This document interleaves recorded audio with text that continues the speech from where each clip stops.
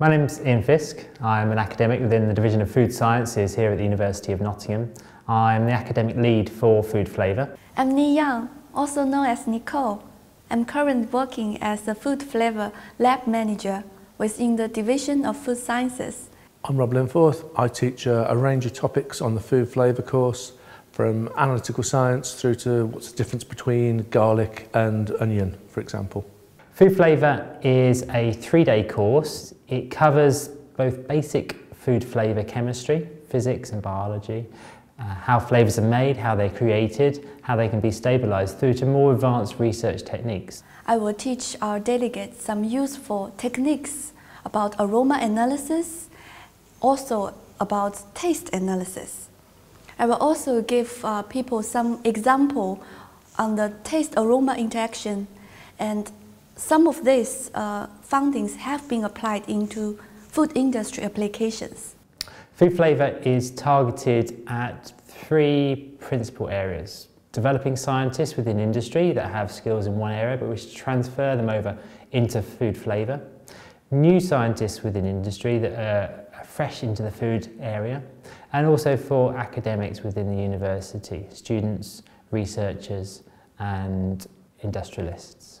The course is applicable to a wide range of people. We've had industrialists, chefs, people interested in food, flavour, flavourists, all on the course, all trying to get different aspects of additional information to help them in their work.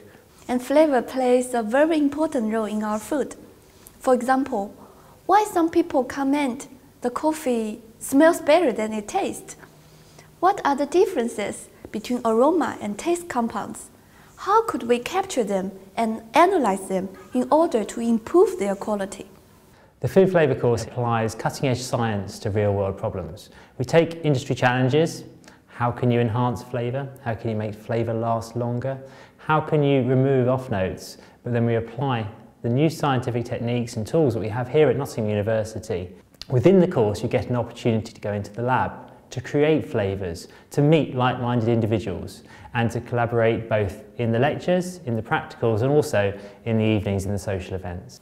The course covers a, a wide range of topics. We go through analytical science, the origins of flavours, what cooking does for food, uh, how flavour behaves in vivo and is delivered in our bodies from our mouth through to our nose, where we sense the quality of aroma and decide that chocolate is chocolate.